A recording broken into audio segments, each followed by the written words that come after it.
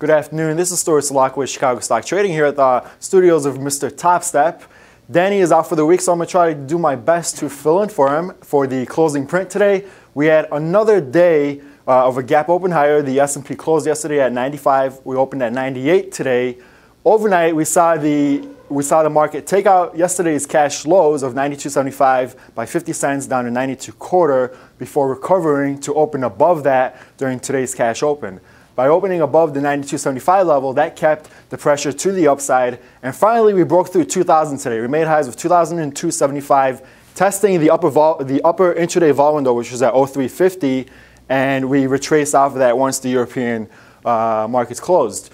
So off that retracement, we pulled back to the session lows. Into the close, we've ta uh, tapped those session lows at 1997, and the market was unable to breach below that. So going forward for tomorrow, the market remains it remains in this uh, bullish momentum.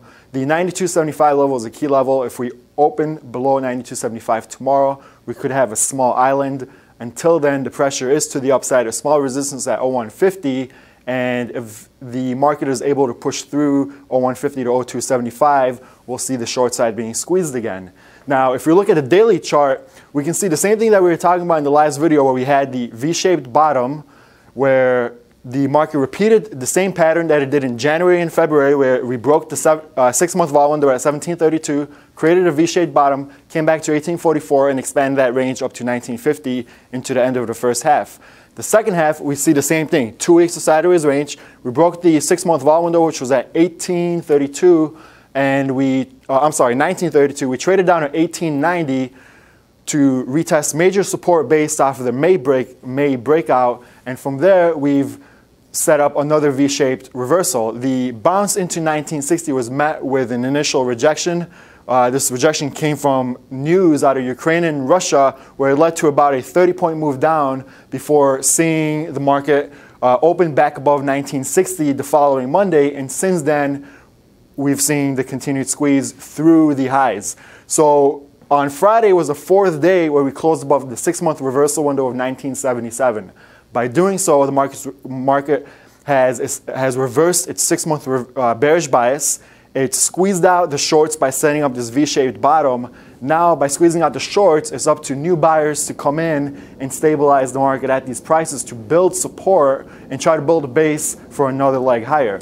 So a couple of key uh, upside levels we're looking at right now is if we take last May's low, which was 1553, to last 2013 high of 1886, down to this year's low of 1732, we have our 100% Fibonacci extension at 2025. That's the major upside level we're looking at. If we do continue to hold the bid, we'll be looking at that level as major resistance. Maybe we can back away, pull back from that, and retest the six-month reversal window at 16, 1977 down to 1960, where old resistance turns into major support.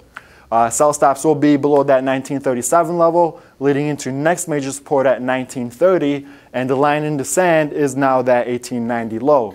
If we look at the 60-minute chart, we can see the cash market never traded down to 1890. The cash market took out 1900 by a tick, 1899.75. Ever since we broke through 1920, we've had seven gap openings higher. And these gap openings higher is happening in the overnight session with the European market. We're seeing euro weakness cause the Globex session of the European market to bid the S&P, and that's where we're seeing the market uh, have these gaps higher, and these gaps higher allow the market to jump over the resistance level. So just as that 1960 level, we gapped above that, kept shorts below that trapped, giving way for that continued squeeze higher. So we can see on the 60 minute chart, we are still range bound uh, in that upward channel. The 1992.75 is a key level on the downside. That's yesterday's cash lows. If the market falls below that, you can see a retest of 81.50. Until then, the, we're looking at uh, upside of uh, 0150 to retest today's highs, followed by major upside resistance at 2025. So we'll need to see uh, on the 60 minute chart, we'll see if we do see a break below 81, we're looking at major support down to 1960, which is that old resistance.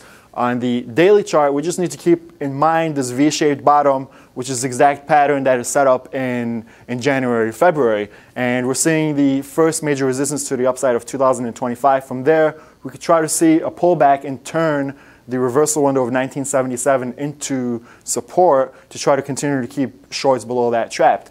Now, one other thing, if we do take the range from uh, the current high of, uh, I believe, uh, 1980 down, 1980 down to 1890, if we take this V-shaped range and add that to the top, it gives us an upside target of about 2070. Just to keep that in mind, just like the first half of the year, we had 1846 down to 1732. We expanded that to the upside and we had 1955. So the same thing now, we need to keep that in mind. The 1980 to 1890 range, it can give a maximum upside target of uh, 2070. So until then, uh, we it's still a very low volume grind and to, to, we do need to see some kind of capitulation if we do want to try to put in any major top at least some strong volume coming in where shorts capitulate and longs get uh, kind of ecstatic on the highs.